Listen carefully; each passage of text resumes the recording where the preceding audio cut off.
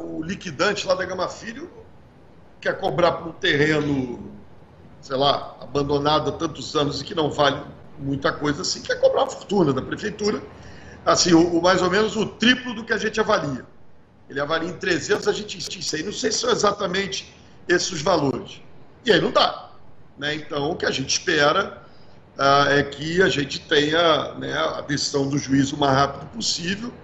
A gente quer pagar o valor justo, enfim, a Gama Filha aí tem seus problemas, eu não tenho nada a ver com isso.